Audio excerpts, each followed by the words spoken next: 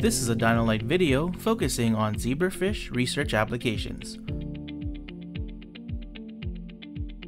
Zebrafish are very popular in scientific and medical research and is known as a model organism for studies relating to vertebrate development, developmental biology, and human genetic diseases. The Dino-Lite is a handheld microscope camera that connects to a computer via USB, with most standard models going up to 220 times magnification. The AM4115T GF-BW uses blue LEDs to observe green fluorescence. All of the sample images shown were captured by Dino-Lite microscopes.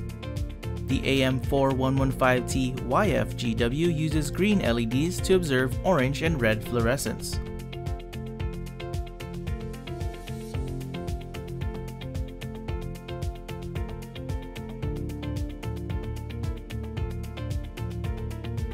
And the AM4115CF-VW uses violet LEDs to observe cyan fluorescence. Each of these models uses 7 colored fluorescence LEDs and 1 white LED. The lighting can be toggled in the software for more versatility.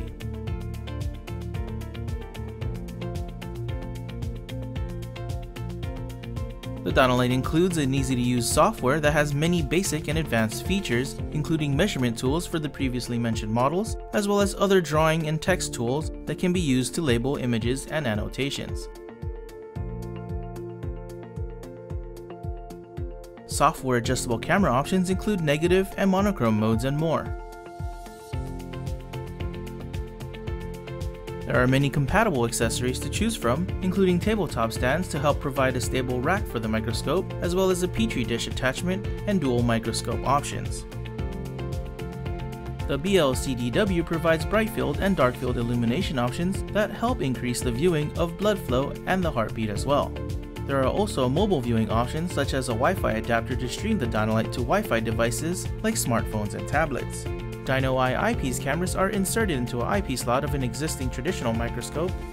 Dino-Lite models with specific fluorescent LEDs help to provide quick high-quality viewing options without the need for staining, offering an easy workaround for the standard 7-day waiting period involved with the staining process. This makes the Dino-Lite a great tool for checking in egg quality and viewing blood flow and heartbeat even in non-injected samples. For more information, visit us at www.dinolite.us zebrafish. Thank you for watching.